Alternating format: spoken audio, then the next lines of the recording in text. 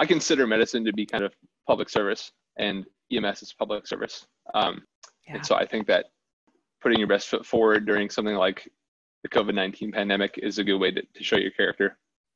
So let's talk about that. That you volunteer um, through Essex Rescue, and uh, as an EMT, and uh, you jumped on board to do some of that work before you even started at the post-bac program, um, because it's a wonderful opportunity to get um, experience and build your candidacy.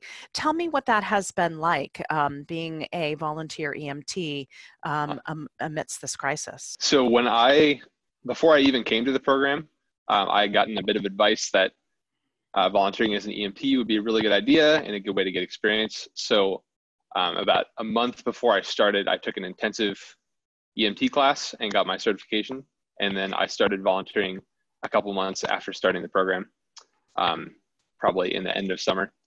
Uh, so I've been doing that for a little less than a year, but it's been a really good experience and a way to work with patients and other providers and learn all about EMS. Um, we've had the COVID 19 outbreak come to Vermont recently, and um, there's been a lot of updates regarding that. We've had to, they've um, instituted new protocols for COVID 19, um, and the states sent out a bunch of materials and information. Um, we've had to change our practices. There's a lot more personal protective equipment and decontamination involved, and we're taking every measure necessary to um, to keep patients from getting contaminated by us and from keep us from getting contaminated from patients.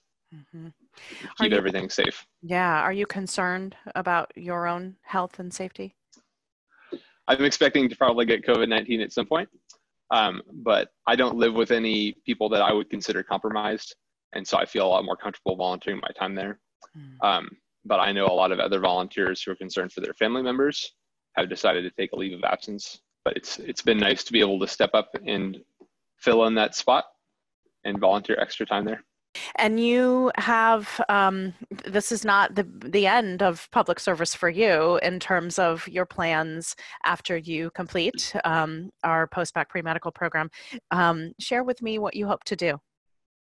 Yeah, so I used to. I'm an Alaskan resident. Um, I gained residency there after finishing college, and I'm interested in working in Alaska as a PCP. Um, a lot of the state is considered an underserved area, and I'm really interested in, in working there doing family practice, which is what most people in the in small Alaskan towns do.